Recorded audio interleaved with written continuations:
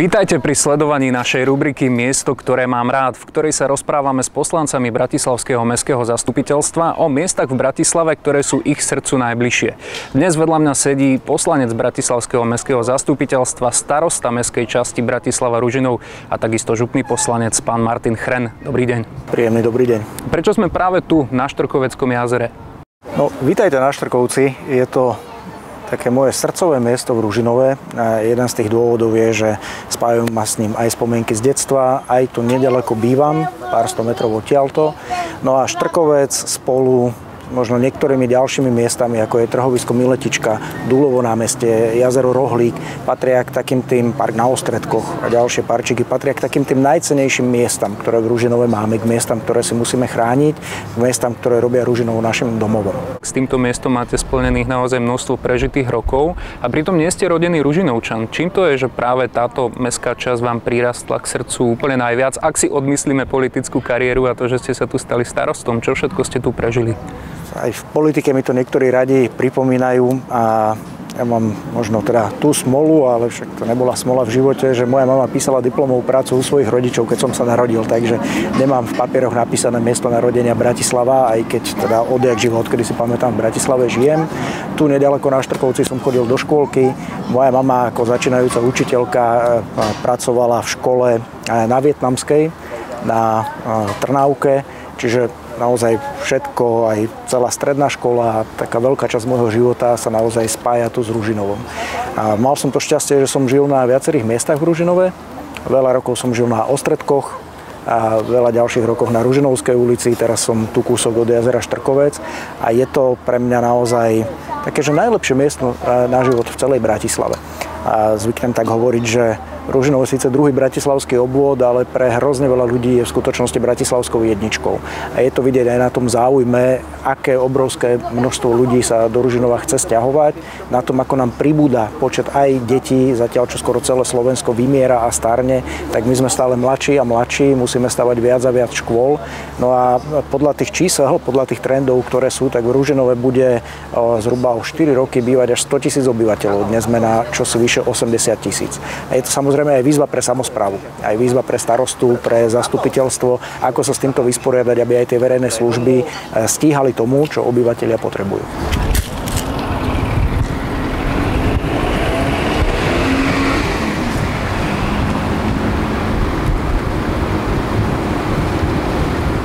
Labuť môže človeku úderom krídla zlomiť ruku.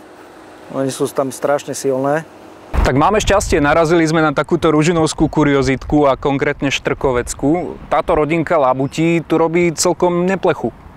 No, oni sem patria, oni sú naše labute, nerobia neplechu, ale je pravda, že tento rok dostali veľmi túlavé topánky, ako môžete vidieť. Práve teraz sme prechádzali cez cestu, aj policajti nám pomáhali zastavovať dopravu tak trošičku, aby mohli cez tú cestu prejsť.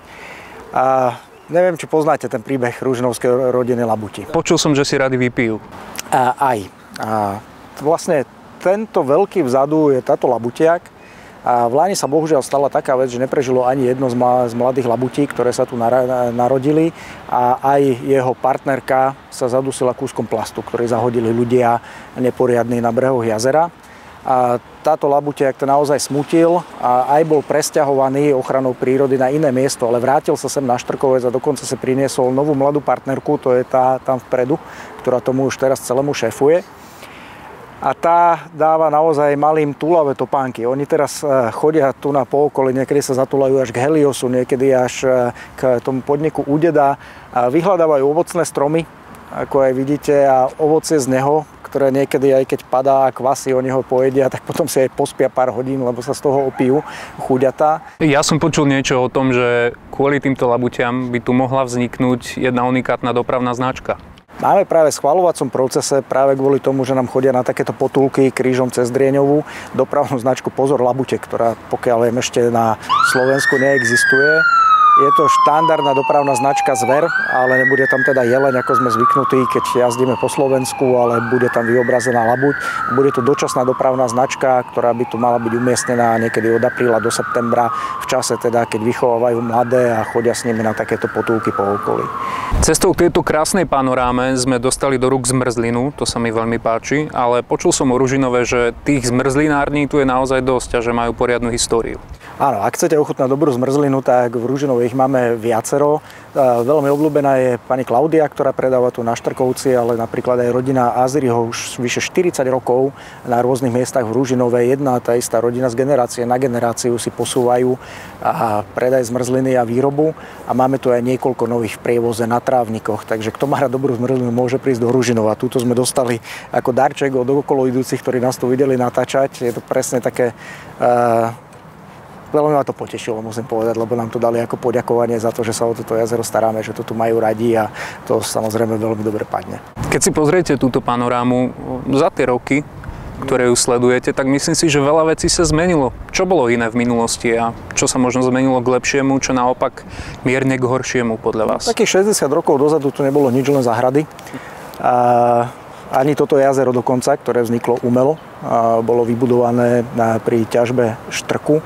Štrkovec má tú vlastnosť, že ono teda nemá samočistiacu schopnosť a tu voda nepriteká, neoteká, je to všetko podzemná voda, takže sa o ňu veľmi staráme. Máme tu teraz odštartovaný, to ste prvý, kto vie, taký tajný projekt s jednou veľmi inovatívnou slovenskou firmou Startupom. A sme tu namontovali, nepoviem kde, také špeciálne zariadenie na frekvenčné čistenie vody na fyzikálnom základe a testujeme teda, že ako sa podarí, či bude fungovať. Pre nich je to aj dobrá reklama pretože naozaj Štrkovec je už celoslovensky známy, aj s tým príbehom tej labutej rodinky. No a absolútne sa zmenila panorama to, keď sa pozriete, poznám veľa rúžinovčanov, veľa starších ako ja, ktorí hovorili, že chodievali sa sem aj kúpavať na Žemlu. Oni volali toto jazero Žemla, druhé naše jazero sa volá Rohlík.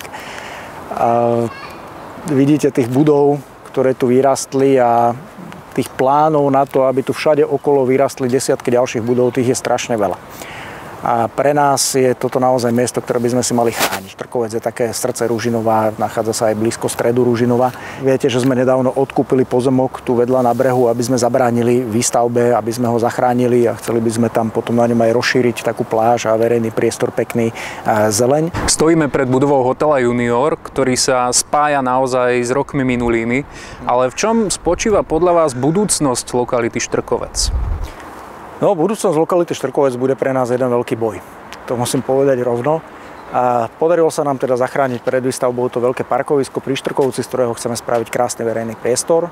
Riešime vysporiadanie pozemkov pod detským ihriskom na druhej strane, ktoré patria ministerstvu vnútra. To ihrisko je najväčšie v Bratislave a staráme sa, zveľaďujeme ho my, aby sme ho mohli urobiť ešte lepšie, ešte krajšie, vrátiť tam mnoho atrakcií, na ktoré ľudia boli zvyknutí, tak sa potrebujeme dostať k tým pozemkom kde teda aj s hlavným mestom, aj s ministerstvom vnútra komunikujeme už dlhé roky o zámene a dúfam, že sa to podarí e, dohodnúť. Tá, taký veľký posun sa udial minulý rok, keď sme našli pozemky, ktoré chce ministerstvo od mesta a už len sa dohodnúť, sadnúť si a podpísať to. No a veľká otázka bude tento hotel Junior, ktorý teda do veľkej miery chátrajúci, do veľkej miery sa z neho stáva ďalšia taká Hirošima, ako ten bývalý obchodný dom e, Ružinov. Mm-hmm a my sme mali aj taký, nazvem to, že konflikt minulý rok. Ružinovčania vedia, že tento priechod bol na niekoľko mesiacov uzavretý, čo poviem tak, že urobili nám trošku na schvál, pretože tu mali naplánované 4 veľké budovy a majiteľovi vlastne hotela patrí pozemok od, zač- od minigolfu až skoro po koniec toho parku.